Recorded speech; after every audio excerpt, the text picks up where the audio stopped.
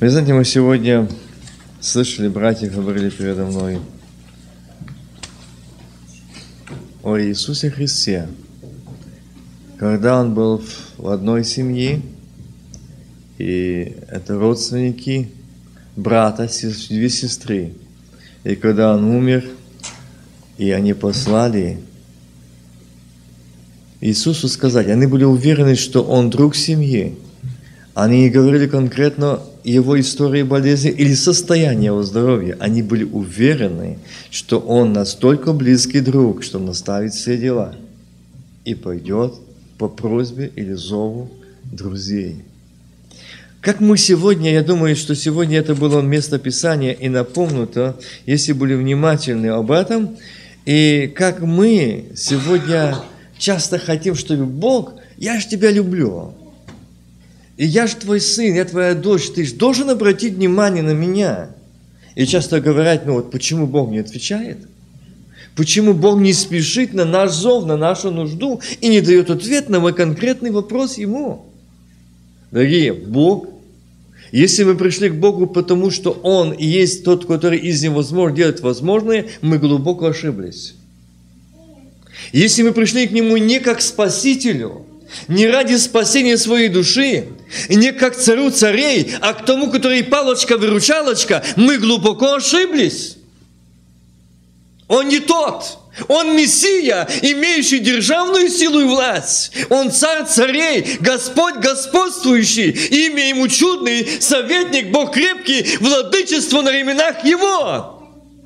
И ты, Вася, должен быть уверен в том, кому ты вручил свою жизнь. И если твоя жизнь не твоя, а моя, то тебе нечего переживать и говорить, Иисус, ну где же ты? Не обращаешь внимания, меня слезы, мне переживания, мне боль, мне больше нет сил, а ты молчишь. Молчу до тех пор, когда ты увидишь, скажешь, Иисус, я твой, я твоя, я, я буду славить, а я буду петь, а я буду прославлять имя Твое, и буду достоин, достоин славы. Аминь. Его имя чудный. И вот это место Писания, вы знаете, когда брат Женя читал о этой э, братье, о этом брате, и он умер, он сказал, идем разбудим. Получается, как насмешка – Здесь уже его нет живых.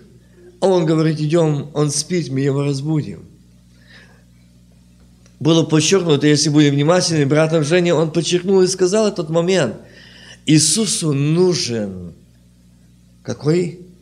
Лазарь воскресший, мертвый, который умер для этой жизни, для греха, воскресший для Господа покуда мы не умрем в нашем «я», в наших понятиях, в наших требованиях, в наших взглядах, Бог ничего не сможет делать. Никакого чуда ни в твоем доме, ни в твоем сердце, ни в твоей семье.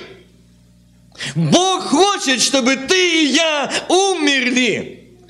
Мы читаем, и мы читали, когда было воскресение Христа, мы говорили, если мы не умерли, то вера наша тщетна, тщетна, Почему? Мы еще во грехах наших. Мы не воскресли. Мы не умерли, значит не воскресли.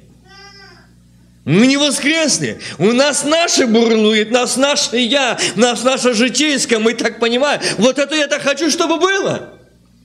И вы знаете, сегодня я не буду говорить дальше на эту тему. Это другая тема, которая была сегодня подчеркнута или затронута. Мария и Марфа. Две сестры и две слушали. И обе слушали. И они были не как кто-то другой, но в их доме он был. Кто, казалось бы, как не они, должны знать, кто их друг. Но совсем тем, я хочу сказать тебе и мне, брат и сестра, что ты и я намного ближе, чем Марфа и Мария. Вы скажете, почему? Он был только иногда в доме Марии и Марфи. А у нас он сказал, войду в них, вселюсь с них и буду жить. Аллилуйя. Он отдал жизнь за тебя и за меня. Была пролита кровь и вода, чтобы называть тебя сыном и дочерью. Марфа, Мария и Лазар не назывался сыном и дочерью, друзья – А мы насколько ближе, ценнее, дороже. И почему Бог молчит? Я не умер. Я не умерла.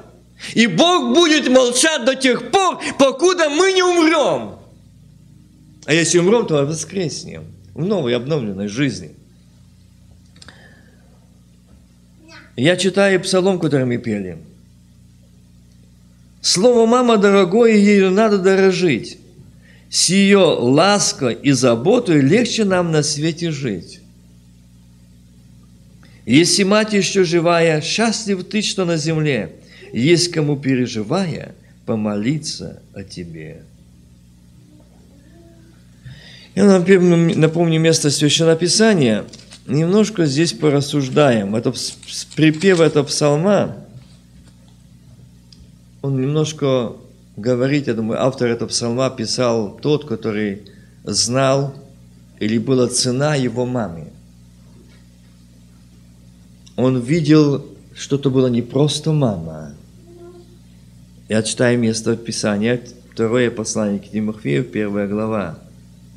Павел, Павел волею Божий апостол Иисуса Христа по обетованию жизни во Христе Иисусе, Тимофею, видите, как что пишет Павел? Павел волею Божией, не волею апостолов, не волею епископов, не волею архиепископов, волею Божией. Павел волею Божией, что? стал апостол Иисуса. Ведь стать просто, а, просто апостолом я не смогу. Если воля Божья в этом, если Бог избирает, Бог помазает. Тимофею, возлюбленному сыну, благодать, милость, мир от Бога Отца и Христа Иисуса Господа нашего. Благодарю Бога, которому служу, от прародителей. Счастлив ты, что есть кому помолиться о тебе. Благодарю Бога, которому служу от прародителей с чистой совестью, что непрестанно вспоминаю о тебе в молитвах твоих, моих днем и ночью. Павел, как глубоко корни зашли, что у Павла были не родители, а аж прародители, прабабушка, прадедушка, которые служили Господу. Будьте внимательны. Какая молитва услышана? Прародители – Мы думаем, что мы просто отцы и матери, мы думаем, что мы просто дедушки, которые могут деткам или внучатам что-то сказать, чтобы они помнили, что-то доброе сделать, чтобы запомнили, что это хорошая бабушка или хороший дедушка.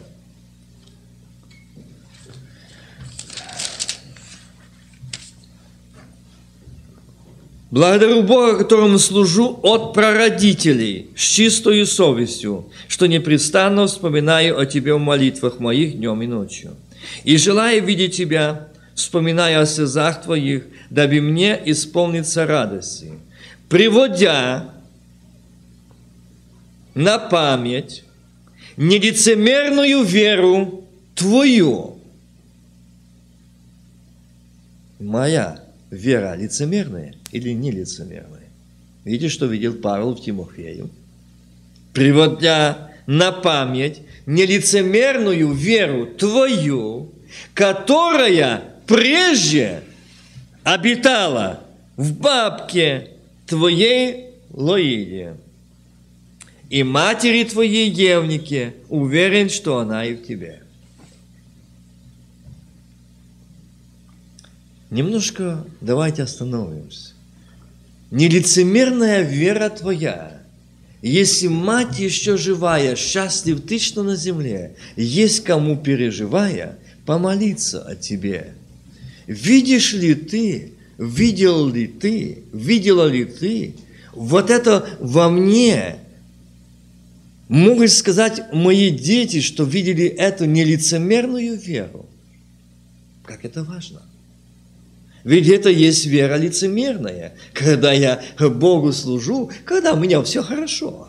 Я буду славить, я буду благодарить, я буду посещать, я буду проповедовать.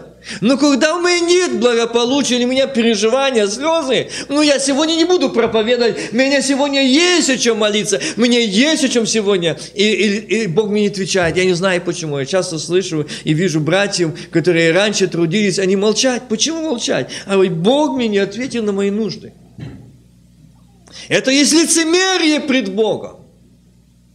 Эта вера была лицемерная. Ты ходил к Богу как лицемер, когда все тебе хорошо, но ты был в церкви, ты служил Богу, ты проповедовал, ты молилась. Но когда тебя награнуло испытание или проверка твоей веры на прочность, тебя нет решительности сказать, Господь, а я остаюсь верной Тебе, даже если смерть. Я вспоминаю один случай, когда-то был у нас э, там, э, еще на бывшем Советском Союзе когда уверовала одна молодая женщина, и, и мать, и она ходила в церковь. И муж сказал ей, запрещал, он пратил одежды, он не пускал ее. Она должна была согласиться остаться с ним. Но она оставалась, время проходило, оставалась. Потом она сказала в сердце своем, Господи, я не хочу быть лицемеркой. И мужу, и тебе. Я хочу служить тебе. Я твоя. И я хочу, что я и дом мой служили Господу. Они не могут покаяться из-за моего нетвердости, колебания, неуверенности, моего лицемерия. Я пойду. Он сказал ей, вот топор.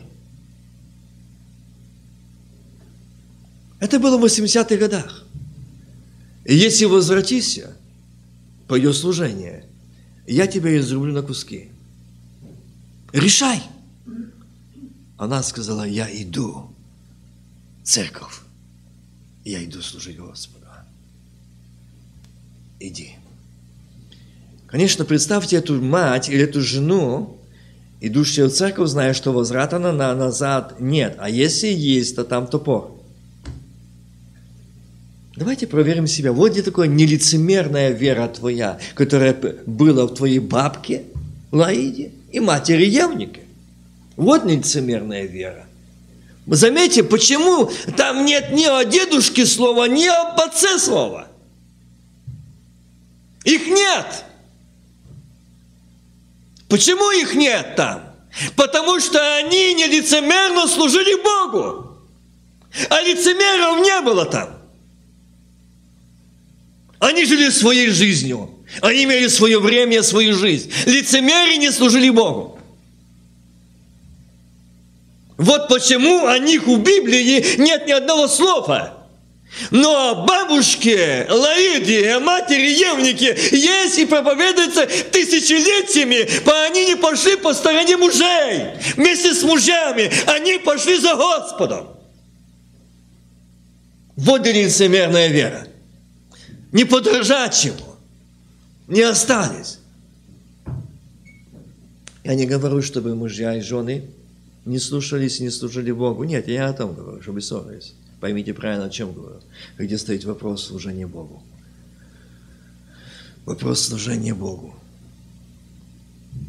И когда эта мать пришла в церковь, она сказала церкви, она сказала, служители, помолитесь, вот я домой, возврата нет. Такой возврат. Церковь как в дни апостольские, горячо молилась. Все единодушно возвали к Богу. И знаете, когда она шла домой, от опасения пошли за ней в наблюдение и сестры, и братья. Что же там будет? Но она шла смело, как она говорила, а я шла, я видела, что впереди идет меня Сын Божий. Я не одна, я Его. Но вот я шла и знала, что если и сейчас мне отрубится голова, то я вижу Иисуса, и Он меня заберет. Когда она приступила порог дома, Когда она переступила порог дома, она увидела в слезах мужа, стоящего. Она говорит, где ты так долго была? Это была молитва, где церковь горячо и прилежно молилась о нее муже. И она задержалась. Топор лежит, но не хватает топор. Говорит, тот Иисус, которому ты верна осталась и не слушала меня. Ты не осталась лицемеркой, верна своему Иисусу. Он коснулся и меня, и говорил со мною. Я хочу тоже служить Ему. Склоним колени. Когда они стали на колени, зашли братья, за три сестры, и тоже стали на колени. Вот что такое нелицемерная вера твоя. О, у меня муж неверующий, я не могу. Он всю жизнь будет неверующий, если ты будешь лицемеркой. Он никогда не уверует. Когда в тебе не увидит отображение славы Божией, Сына Божьего, жизни Его, что ты не лицемерно служишь Богу.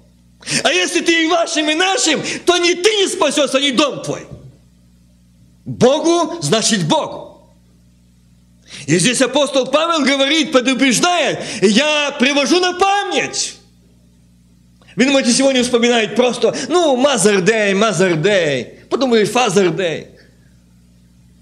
День матери, день отца. Я хочу сегодня как раз на эту тему и сказать, что такое родители.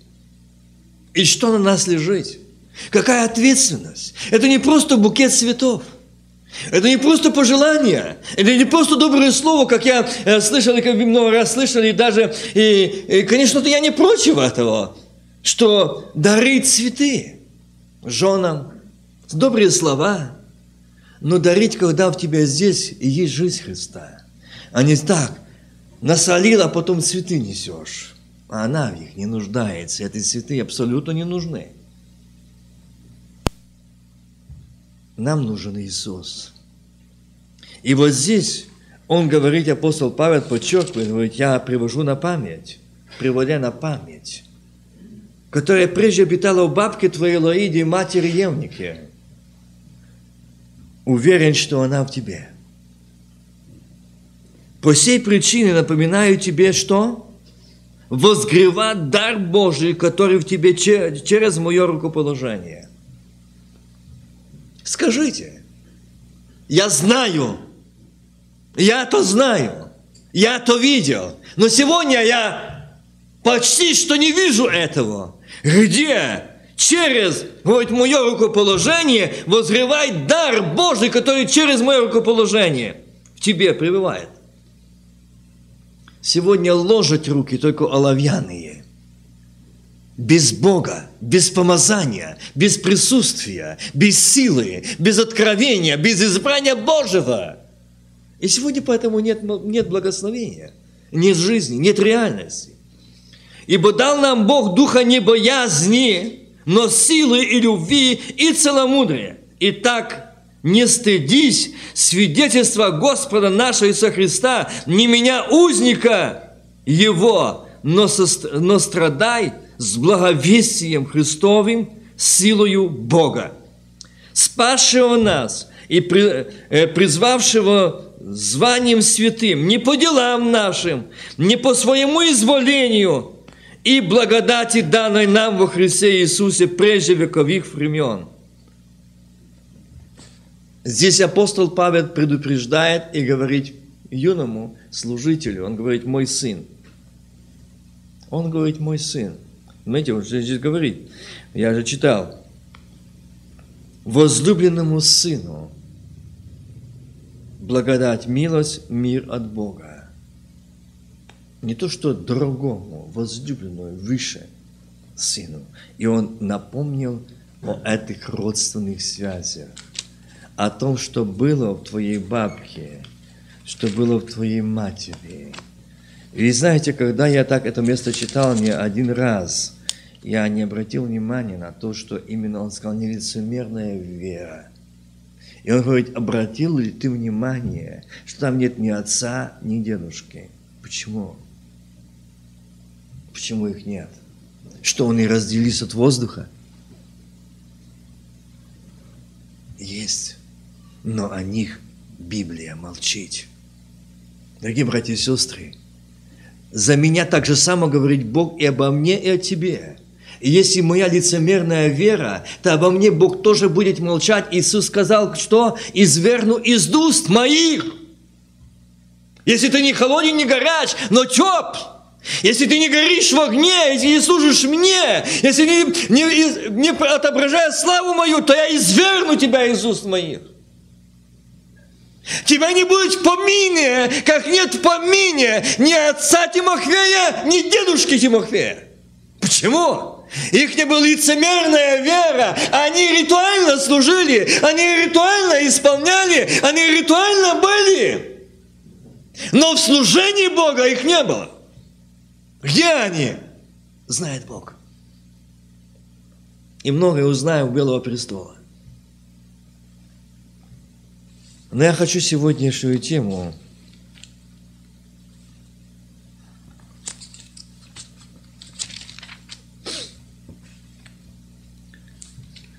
Вы знаете, подчеркнуть еще один момент. Мы сказали и мы говорим, что мы слышим. Почему он сказал, лицемерная вера и совесть наша чиста. Мы давали обет служить доброй и чистой совестью. Вы знаете, было время, когда на этой низкой земле был Иисус. Было время, когда перед Иисусом был Иоанн, и он проповедовал. И заметьте, там был один человек. Это был большой человек. Это был царь Ирод. И заметьте, это Евангелие Марка, 6 глава. 14 стих и ниже. Царь Ирод услышал об Иисусе, ибо имя его стало гласно, говорил, это Иоанн Креститель. Воскрес из мертвых, потому чудеса делаются им. И потому чудеса делаются им. Другие говорили, что это Илья, а иные говорили, это пророк или как один из пророков. Ирод же, услышав, сказал, это Иоанн, которого я обезглавил. Он воскрес из мертвых. Ибо сей Ирод послал и взял Иоанна и заключил его в темницу за Иродиаду, жену Филиппа, брата своего, потому что женился на ней.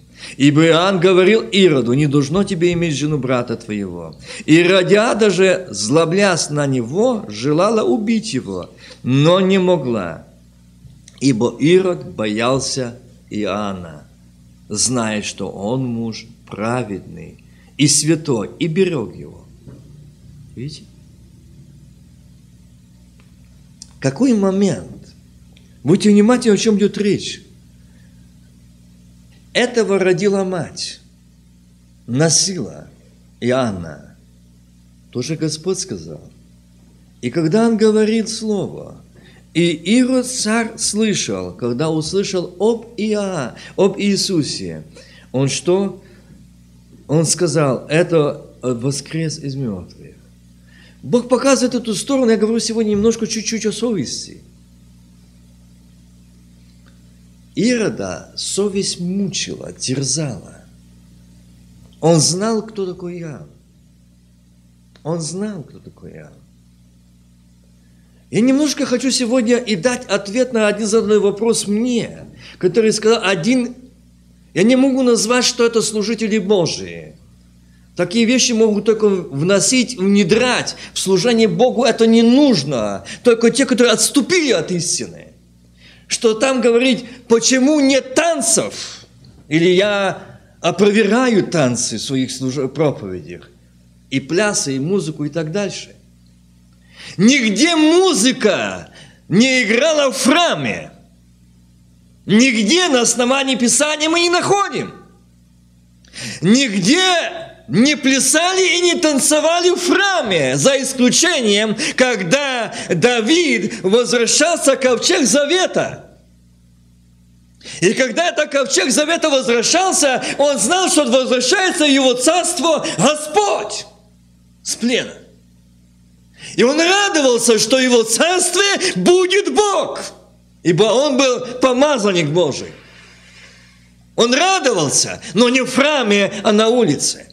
И если вы потеряли общение с Богом, Если ли вы сегодня видели, что вы э, э, потеряли и не видите Господа, и сегодня увидели, что Он прощает вас, освобождает вас и дал вам слезы покаяния, видели свою жизнь не должен не на основании Писания, и вы будете плясать, радоваться, что Господь возвращает в твое сердце, твой дом, твою семью, пляши дома, танцуй дома, цель на улице, пусть соседи видят, что ты обновленный новый человек ну не просто показуха, эмоциональность.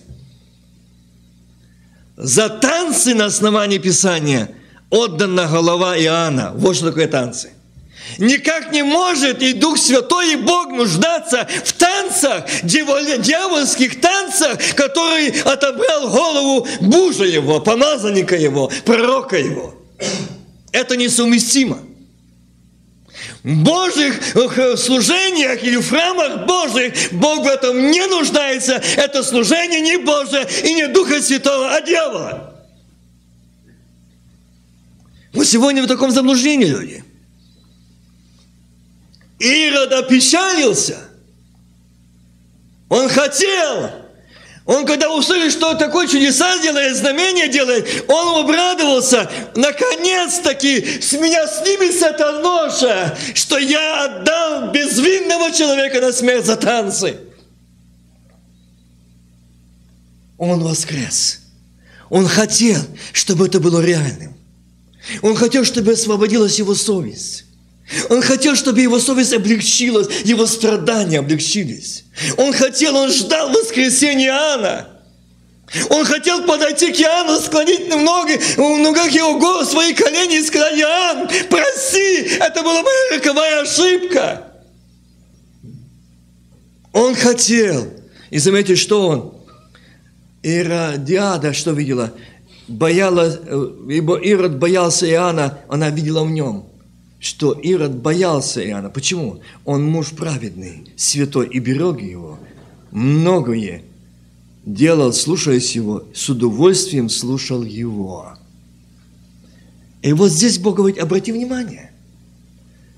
Он боялся его, видел, что он муж праведный, берег его, можно слушать Господа, уважать его – Почитать, о, это святая книга Библия, там нужна у нас, чтобы не была грязная, чтобы в хорошем месте надежно лежала. Прийти в церковь, это же Божье Слово, посидеть, но это же Бог сказал. Можно уважать, можно слушать, можно бояться и не увидеть, и не услышать, и не покаяться. Как Ирод. И видел, и слышал, и не услышал, и не познал. Видите? Он видел чудеса, он видел знамения, он слышал голос Божий, он слушал себе многое, делал, что слушаясь его, и что с удовольствием слушал его. Можно с удовольствием слушать сегодня. О, прекрасное слово, прекрасная проповедь. Но это прекрасное меня ничего не изменилось. Меня не изменилась моя жизнь, меня не изменился мой взгляд, меня не изменился мой характер, меня не поменялось мое э, мировоззрение, не поменялось мое ничего. Ирод то же самое сделал. Слушал с удовольствием. Но результат – голова пророка была снята, того, которого он с удовольствием любил слушать. Бог показывает – ты можешь с удовольствием слушать, уважать человека. Но придет день, что ты согласишься срубить ему голову, уничтожить его. Придет день. Это причина того, что мы остались, слушая, но ничего не поменялось. Мы ходим, можем десятилетиями в церковь, но если жизнь не меняется, мы распинаем его. И в один прекрасный момент мы также можем поступить, как Ирод – Бог сегодня предупреждает, чтобы мы не стали эти соучастники. Вы скажете, да нет, мы не такие. А скажите с нашими действиями, нашими словами. Мы сегодня не то ли делаем, не то ли мы делаем нашим языком. Сегодня мы с удовольствием слушаем. Слушаем, и уже многие годы слушаем. Но жизнь не изменилась. И момент, и наше мнение изменилось. Наши мнения изменились, наши взгляды изменились. Один брат сказал, брату задал вопрос и говорит, ну ты же каялся, ты же их свидетельствовал, что ты получил свободу, ты получил обновление, ты получил прощение. Что он сказал? Это было колдовство. Заколдовал нас. Мы не понимали. С удовольствием слушали. С удовольствием можно слушать. Но не услышать голоса Божьего что Бог говорит моему сердцу, и моя жизнь не изменяется, моя жизнь не меняется. И вот здесь именно я возвращаюсь сегодня к теме. Это, я не думал этот момент даже напоминать, но Господь сказал о том, чтобы напомнить, мы собрались, и наша нужда. Молитва осталась. Молиться, чтобы увидеть самого себя. Увидеть самого себя. Можно слушать, можно с удовольствием слушать, можно многое делать то, что он говорит. Ирод все это так делал. Но в конечном итоге за танец удовлетворили его танцы. Откуда ты взял Ирод танцы? И за танец отдать голову.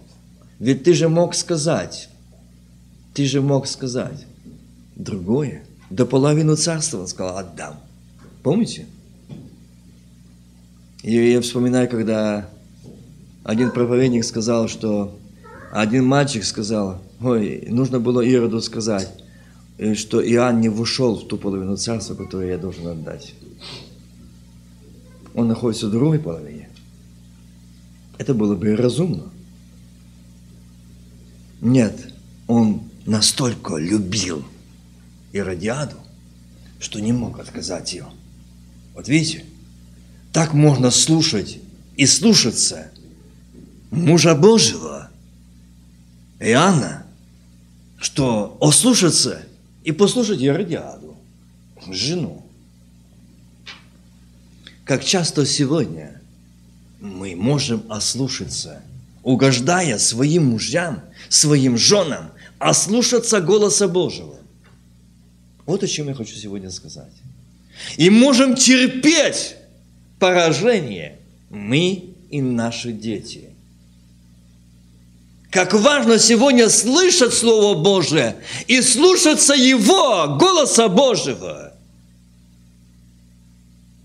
Мы можем слушаться, а, как Иоанн видел в нем, что он был муж праведный. Заметьте, муж праведный и святой, берег его. Но он не видел Господа. Вот вся проблема. О, у нас хороший пастор, у нас хороший проповедник, у нас хороший сосуд. Мы будем слушаться его, мы будем идти за ним, а дальше один момент, и мы перечеркнем вот так. И нам человек не нужен. Потому что написано, проклят всяк, надеюсь на человека, и опорою делающий свои его.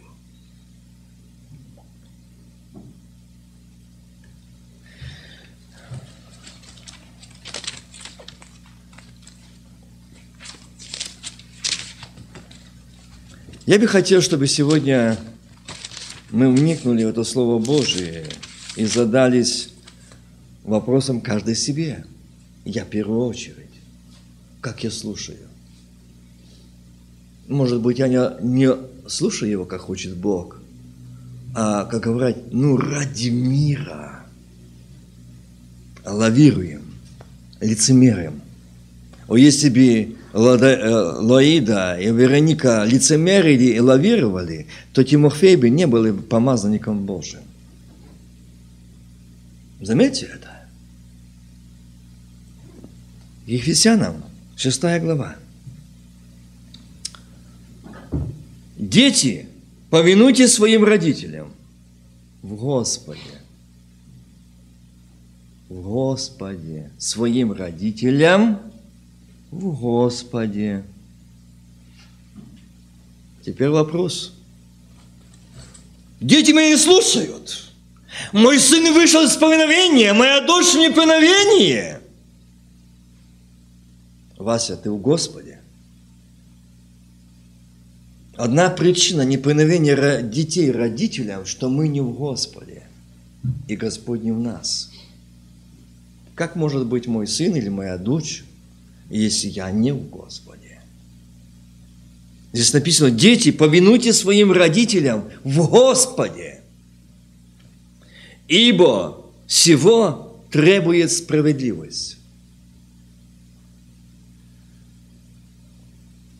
Почитай отца твоего и мать, это первая заповедь за запятованием.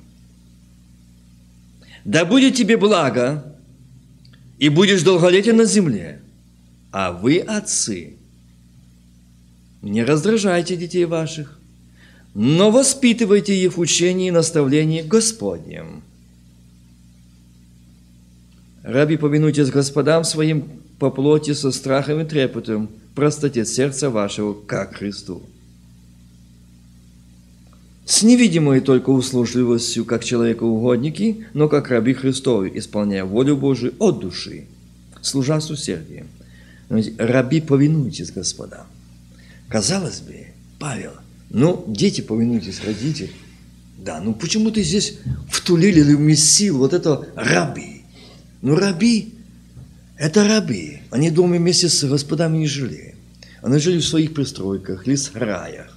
А ты тут говоришь, повинуйтесь своим, по плоти, со страхом и трепетом, простоте сердца, как Христу. Попробуй.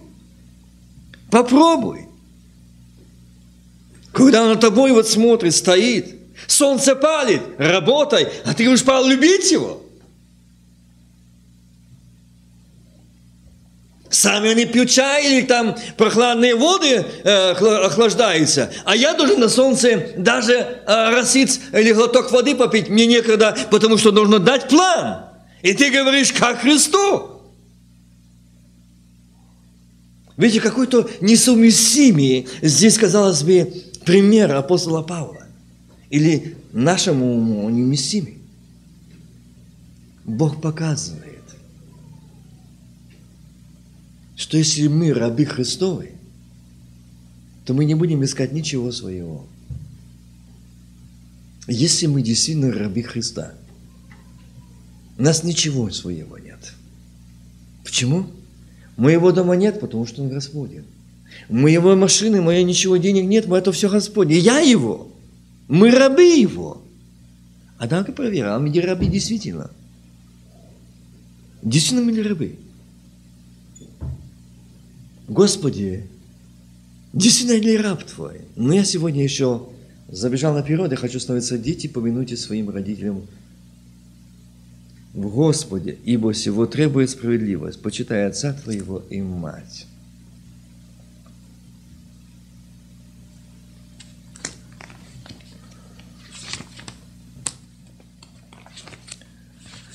Я возьму немножко Ветхий Завет –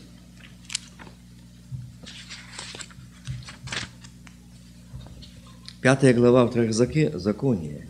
«Почитай отца твоего и мать твою, как повелел тебе Господь Бог твой, чтобы продлилось дни твои, чтобы хорошо тебе было на той земле, которую Господь Бог твой дает тебе». Это с десяти заповедей. Почитай. Почитай. Ну, мы часто это слышим, почитай, почитай, но мы, ну, это нужно кому-то почитать но не для меня. Мы сегодня это празднуем или сегодня говорим о том. Но вы знаете, два момента. Один из них я хочу привести сейчас.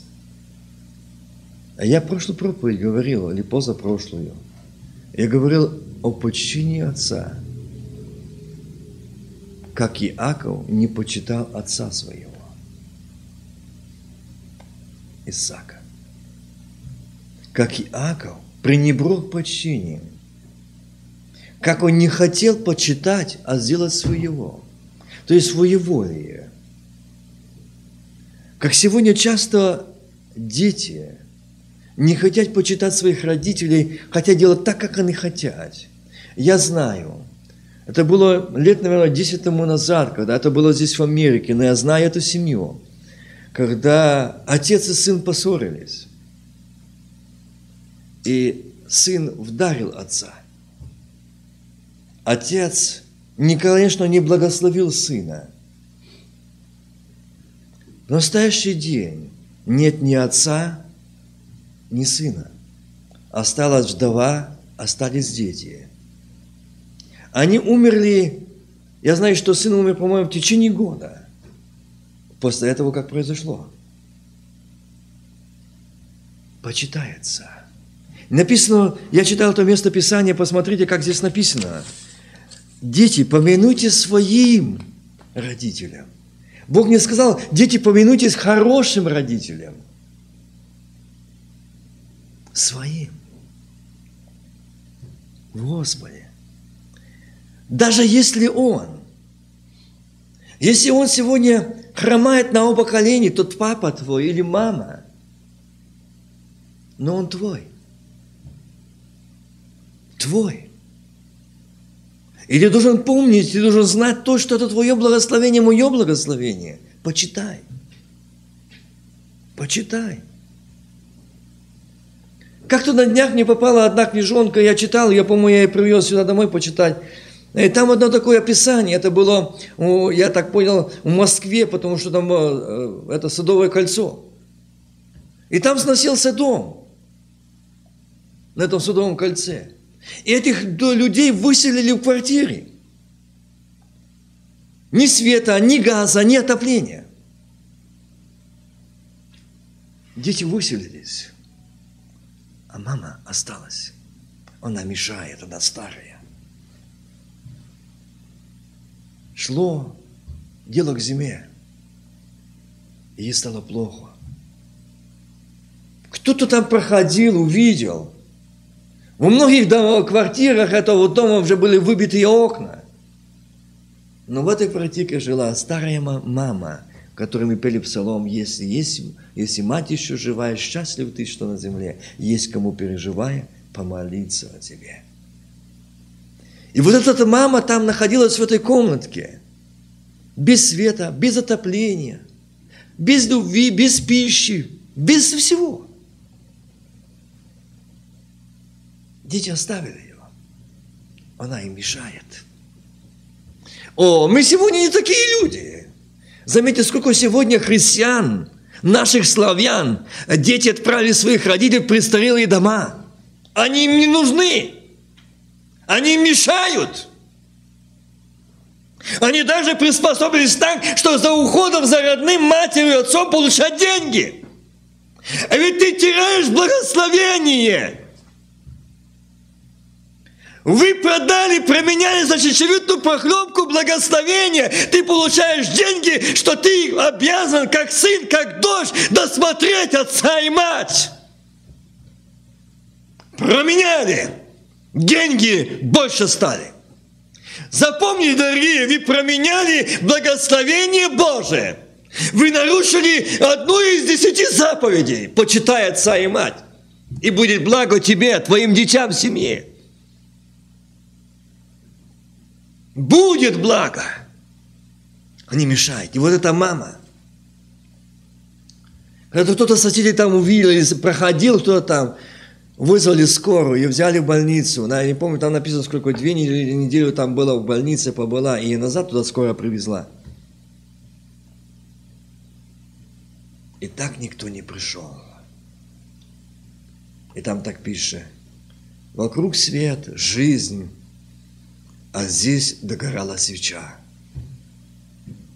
Жизнь маме догоряла. Детям не нужна никого сердце даже не дрогнуло, не шевельнулось. Это, там пишет это стихотворение, или описана эта история о том, что о сегодняшних детях, какое их чувство, ответственность к родителям. Живая мать. Сердце ни разу не дрогнуло сына или дочери. Как то мама. Ведь это были недоспанные ночи. Ведь девять месяцев носить в чреве там под сердцем. Это не было так легко. В болях, мучениях эти роды скормить, выкормить, поставить на ноги, дать воспитание. Мы не ценим сегодня. Не ценим, дорогие, не ценим. Я один из тех, которые сегодня говорю перед вами. И я когда приезжая на Украину, когда зашел, я больше туда не могу идти. Я зашел на холмик моей маме. Я сказал, мама, я знаю, тебя здесь нет. Ты там, у Белого престола. Я хочу здесь, у твоей могилы, сказать, мама, мне так тебя не хватает, твоих молитв. Мы оценим только тогда, когда их не встает. Мы ценим только тогда, когда они встает. Я часто над этим напоминаю и еще, еще раз напомню, это не, не могу забыть. По сей день там пол той комнаты не закрашен. И моя старшая сестра, которая уже отошла в вечность, тоже вместе с мамой, она привела меня в комнату и говорит, Вася, иди посмотри, я что тебе покажу. Видишь, этот круг отшлифован. Да, вот здесь она стояла любую пору дня и ночи. Когда мы не зайдем, она стоит на коленях. И я слышу, Господи, благослови моего сыночка Васика. Благослови его служение, благослови труд. Благослови семью, благослови его. Счастлив ты, что есть кому, переживая, помолиться о тебе. Мы не ценим тогда, когда они живы рядом с нами. Мы не ценим, когда они есть рядом. Они нам мешают. Они мешают вместе нам жить. Мы молодые, мы современные. Нам нечего с ними э, делить мнение. Они другого взгляда. Они отсталые. Дорогие мои, мы теряем благословение мы теряем благословение. Мы часто можем прийти в дом и матери, вместо того, что ждет от тебя поддержки, как от дочери или как от сына, я могу нагрубить, я могу сказать грубое слово, потом сказать просто, мама, прости. Дорогие, это не так легко заживает этот рубец. Мама, прости.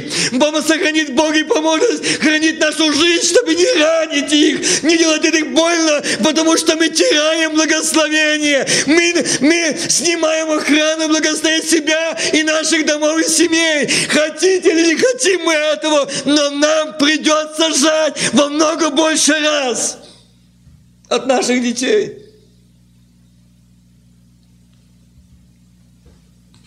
Дети.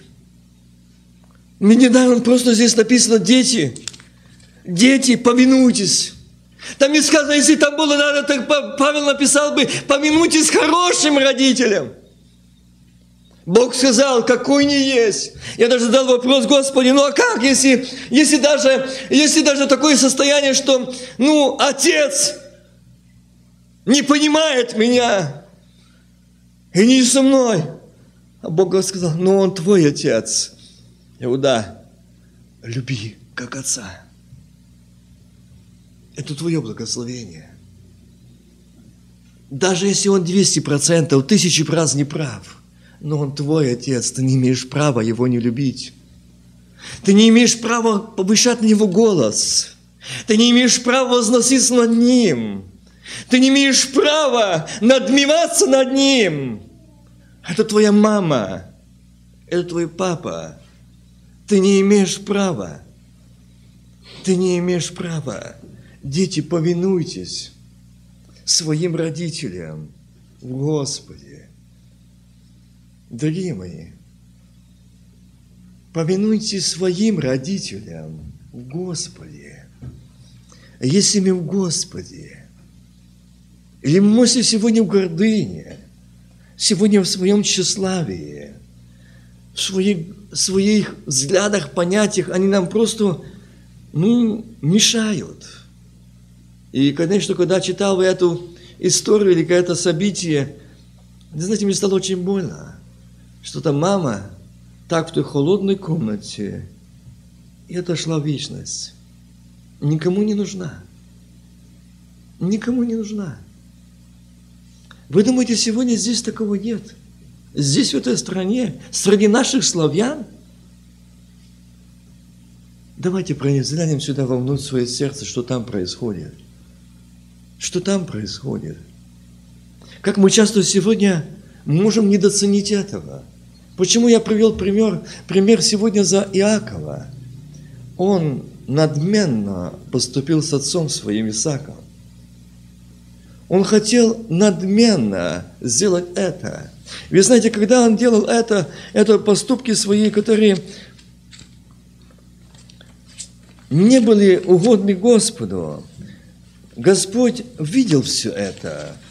И Бог хотел, чтобы сегодня и ты, и я так же само могли заметить и сказать Господу правду о своем состоянии. Господь, я нуждаюсь сегодня в Тебе. Я хочу, чтобы Ты помог мне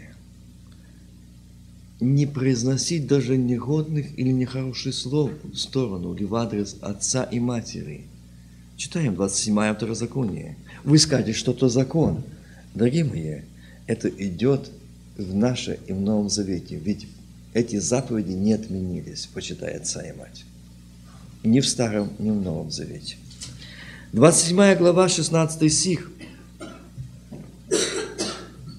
Проклят злословящий отца своего или матерь свою, и весь народ скажет Аминь. Проклят. Видите? Злословящий. Говорящий, это мы не можем представить. Ты, мама такая, такая, и ты, папа такой, вот такой, вот такой. Поймите, мне страшно, когда я слышу такие вещи – когда я слышу такие вещи, когда встречается в семейных проблемах, и там высказывает, там э, слюна летит от злости, высказывает, дети хотят, вот какие негодные их родители. И вы знаете, когда в это местописание Бог показал, проклят всяк, проклят злословящий отца своего или матерь свою, проклят. Этот сын или эта дочь, которая злословила отца или мать, она не будет иметь благословения. Ни она, ни ее семья, ни ее дети до четвертого рода. Это проклятие. Представляете, что мы делаем? Что мы можем сказать это проклятие на своего отца или на свою мать. Ты такой, ты такой. Мне однажды пришлось встретиться, что одна э, семья, и там, ну, сын сказал, сказал, ну, это же не мой родной отец, а мой тесть. Это меня не касается. Я говорю, нет. Если твоя жена твое тело, то ее отец твой отец, ее мать твоя мать. И там не будет того, что это чужое. Это отец. И если ты принес или поднял голос свой, проклял с него, то есть засловил его, поносил его, делал ему больно. Вы знаете, они вам не скажут, но они Богу скажут. А вам будет надо жать. И очень сильно жать. Не только вам, а и детям до четвертого рода. Но то, что мы сегодня распоясаны своим языком – что мы сегодня можем легко выпускать слова, а ты такой, а ты такая, а ты такой негодный, а ты вот такой, а ты вот такой был в жизни, а ты делал вот то, а ты такой. Дорогие мои, мы дети, и не дано никому право на основании Писания говорить, какая мать или какой отец. Ты не знаешь, какая была их жизнь, что было в их жизни.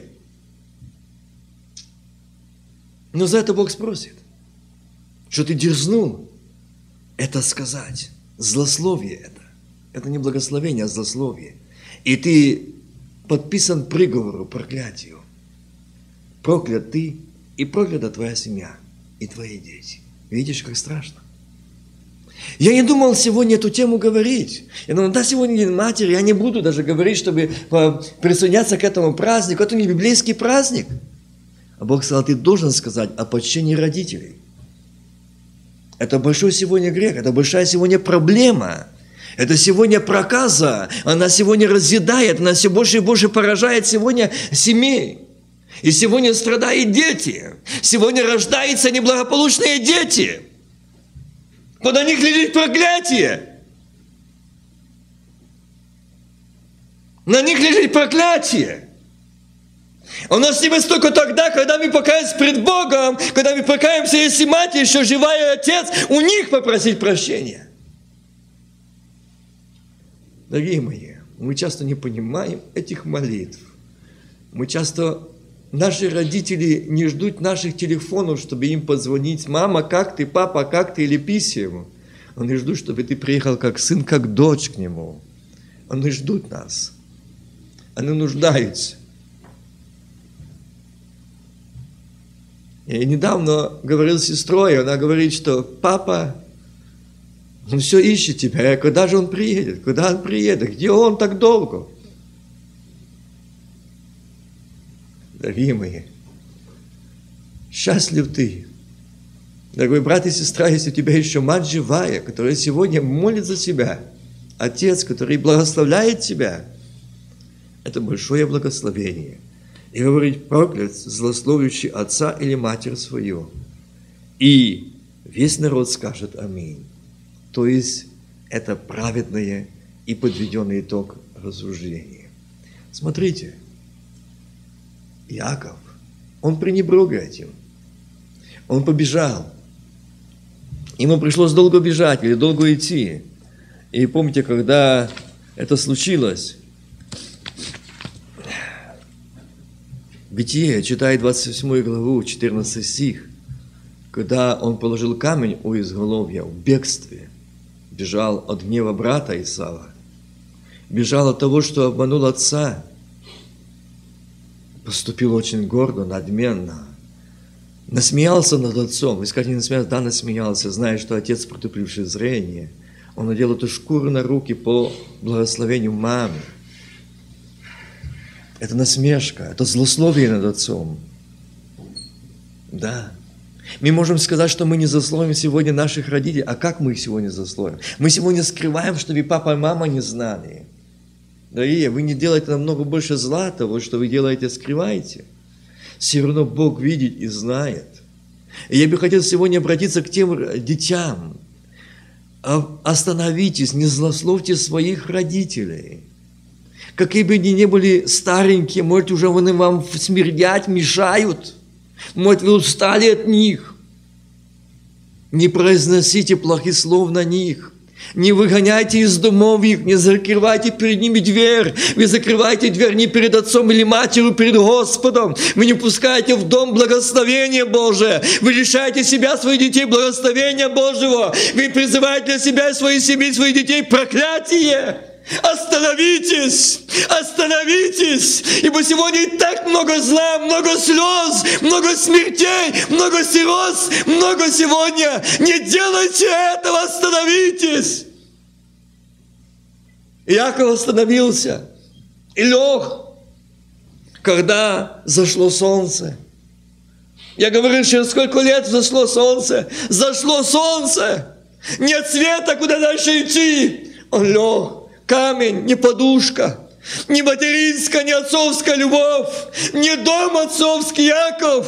Я тебя не выгонял из дома. Яков, кто тебя выгонял из дома? Яков, ведь ты получил бы свое благословение, ибо оно было назначено Господом Богом Саваофом.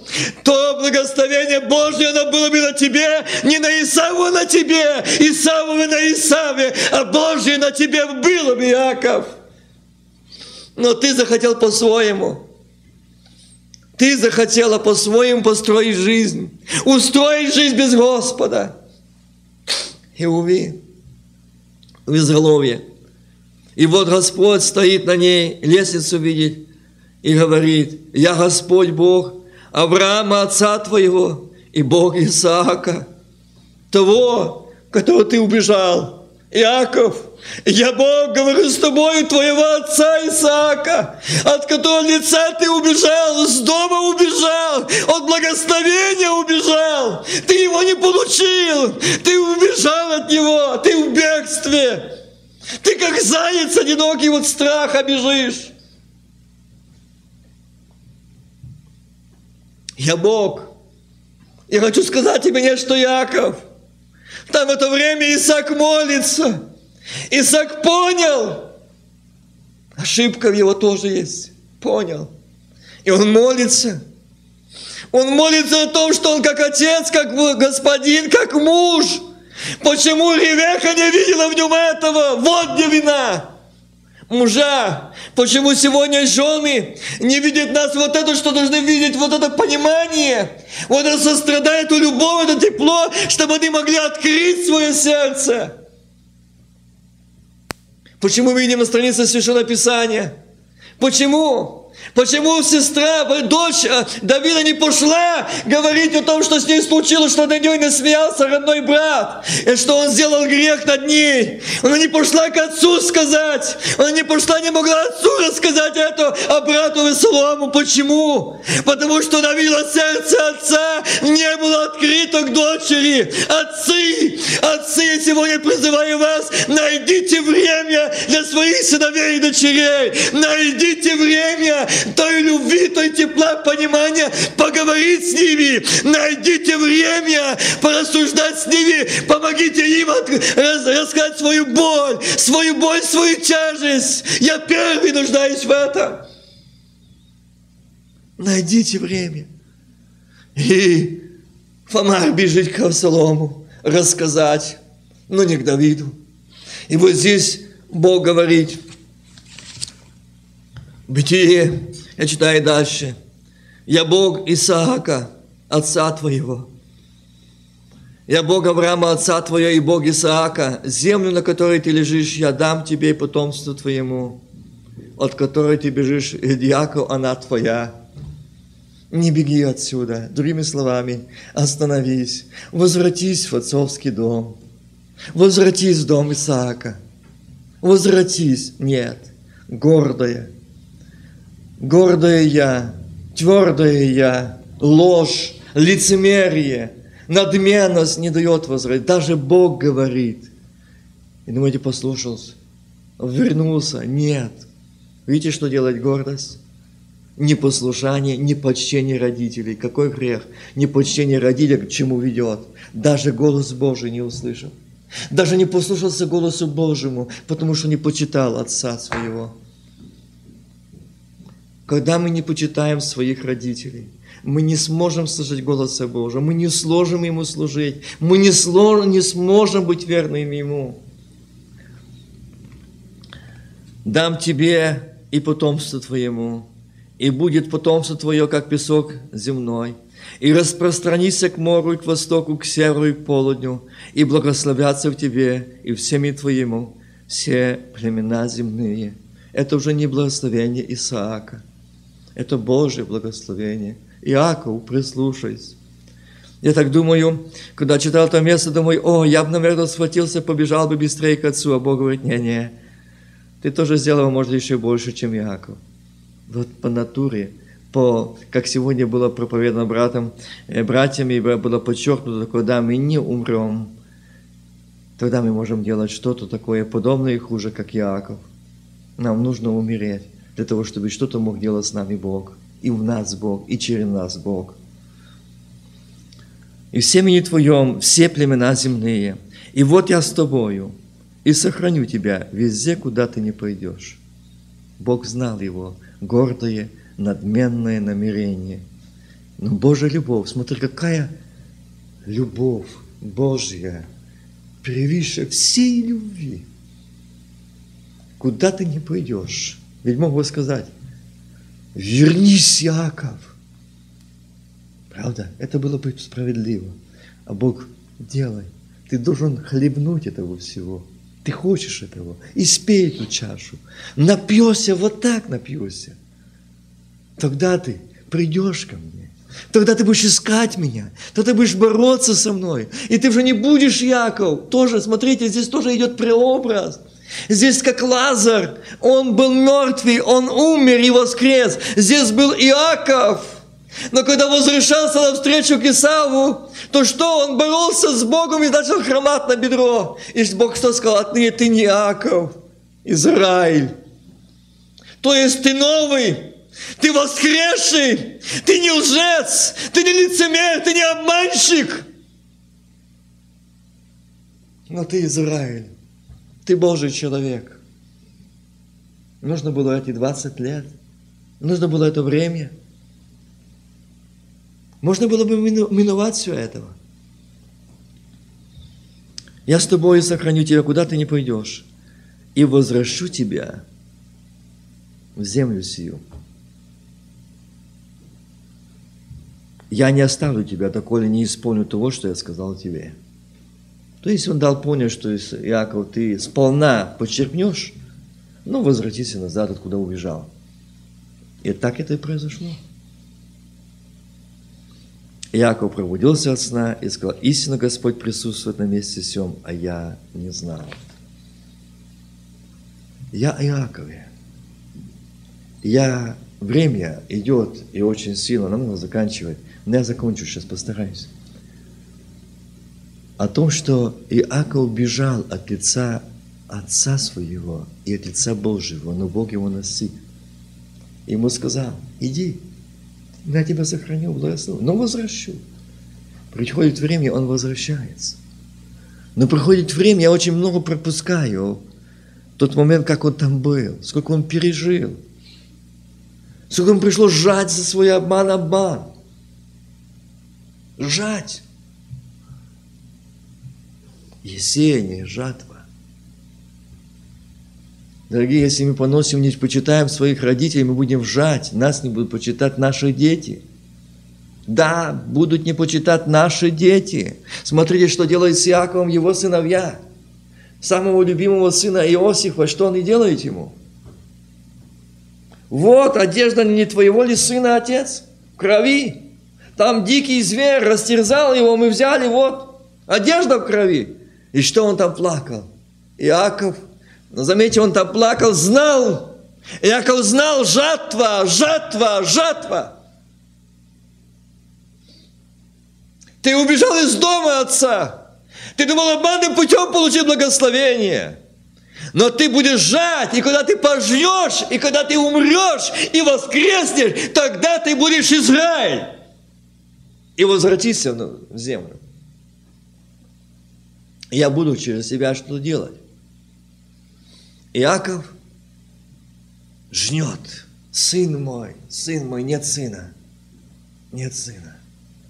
Но намного больнее сделались его сыновья с ним, чем он своим отцом.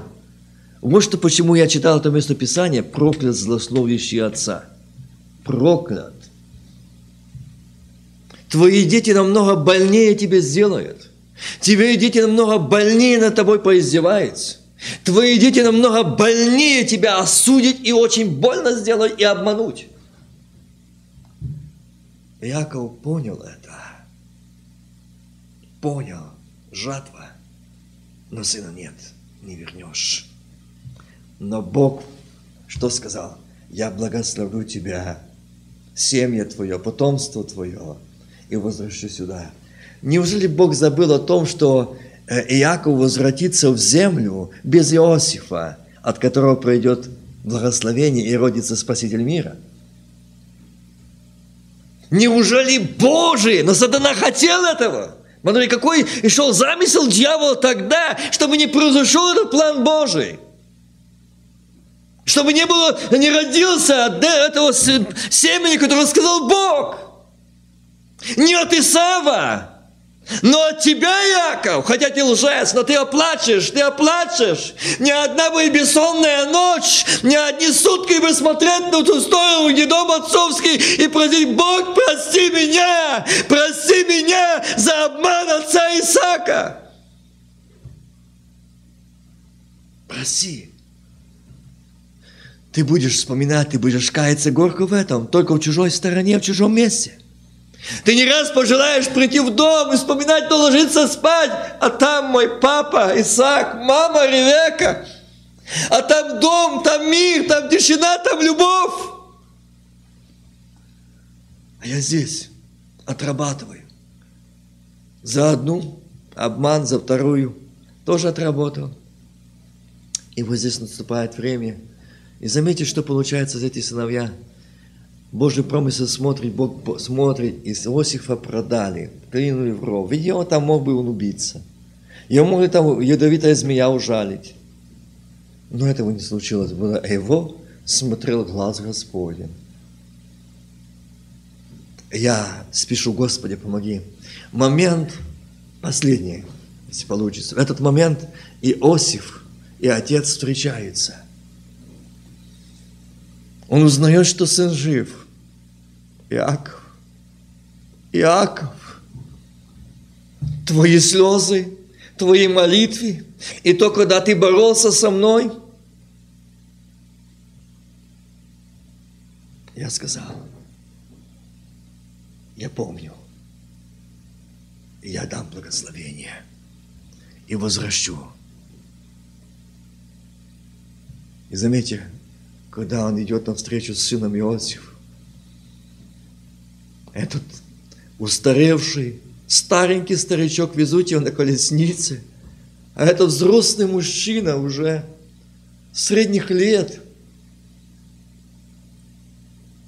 второй, как можно сказать, царь в Египте, второй после царя, сидит, просит царя, мой папа возвращается. В этот момент, когда Яков сидит, и когда приходит встреча Иакова с сыном Иосифом, перед Яковом стоит картина Исаак в притупленном зрении. Он принес ему эту похлебку, он гладит руками, и говорит, сын ли ты мой?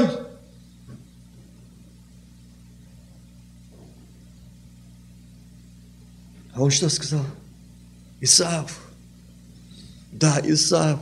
В этот момент, я, я этого не знал, Бог говорит, в этот момент, этот Яков смотрит Иосифа, и он видит картину свою, как отец Исаак старенький, притупленным зрением, протягивает руки его, сынок, ты, Исаф, руками своими ручками дрожащими ведет, да, волосы-то его, а голос-то Якова. Он смотрит, Иосиф, Иосиф, я тебе делаю мое сердце, как я сегодня вижу себя, свою юность, свое детство, свое отречество я вижу, как я надменно поступила своим отцом я, Исааком, как я надменно это сделал, я жал столько десятков лет. И сегодня Бог провел меня таким путем, и я увидел благословение, то, которое там, где лежала голова на камне, Он сказал мне, увидишь благословение. Увидишь, сынок, я вижу тебя, я вижу это благословение, о котором говорил Бог. Другой момент. И еще что-то он увидит сейчас. Где твои детки? А кто это? Это мои детки, отец. Это мои сыновья, которые родились, ты их не видел. Я не могу, времени не достает передать вам то, этой встречи, это Писание, как, что там делает в сердце отца, что делает в сердце Иакова, какая картина его подняла жизни, его отношений с Исааком, отцом своим Иакова. И вот здесь Иосиф показывает своих детей, своих сыновей, и он склоняет колени и говорит, я хочу их благословить. Манасия, Ефрема, я хочу благословить. Это те, у которых есть и будет благословение. И вот здесь Иа, и, и Иосиф ставит сыновей одного под правую руку, другого под левую. Вот этому должно быть благословение. Вот этому должно быть благословение. А Яков увидел себя – и Господь показал, вот Яков увидел себя. Ах, сынок мой, сынок Иосиф, я вижу себя в тебе. Я вижу свое сердце, я вижу себя, свою юность в себе, свою э, ту решимость, свою, свою ту, э, как он, ну, как настойчиво, решительно, быстро все делал. Быстро перехватить хотел. Я вижу себя, сынок, не будет так. И он берет его руками вот так. Божье благословение не поставишь. О, если бы я не надел этой шкуры на руки, а если бы я не послушал матери веку, я бы получил все равно без этой скитаний. Я, я прожил жизнь, и только в старости перед смертью увидел твой, себя, э, тебя, сыночек. Я мог бы жить в доме вместе с вами. И мои сыновья были бы едины, дружны, не враждовали, не обманывали, не хитрили. Но это была моя жатва, моя жатва, мой грех, что я поступал с моим отцом Исааком. И вы, мои сыновья, родные братья, не были дружны, не были едины, не были были как единая плоть, как родные братья. Это мой грех вас разлучил. Это моя зависть. Это мое, мое то, что я сделал. Иосиф, я мог бы жить с тобой с самого малечку и до сегодня. Но сегодня я вижу тебя, как ты хочешь тоже поставить благословение. Нет, будет так, как Бог. Ведь я мог бы тоже так получить. Сегодня я хотел бы, чтобы сегодня мы покаялись. Господи, проси меня. Проси меня. Прости за мое я, за мою гордость, мое надмение. Прости, что я сегодня хотел таким путем получить благословение, лицемерием, лукавством. Мамочка, на тебе цветы. Мамочка, на тебе подарок. Папочка, на тебе цветы, подарок. На тебе подарок. Мы расскажем тебе стих. Мы скажем тебе что что-то. Мы еще что-то сделаем. Мамочка, папочка, мы любим тебя. Дорогие детки, в этого мало в жизни для родителей. Они нуждаются в вашем понимании, в вашем тепле, в вашей любви, в вашем посещении. А сегодня обращаюсь к вам, отцы и матери, дедушки и бабушки, я в том числе. Нам нужно пересмотреть нашу жизнь. Если мы своими поступками навели это проклятие на себя, на свою семью, нам нужно покаяться, что мы злословили родителей, мы не почитали родителей, мы под проклятием. Нам нужно покаяться, нам нужно, Господи, прости, прости за непочтение, прости за нелюбовь, прости за неуважение, прости за неисполнение заповедей. Давайте склоним сердца для молитвы. Аминь.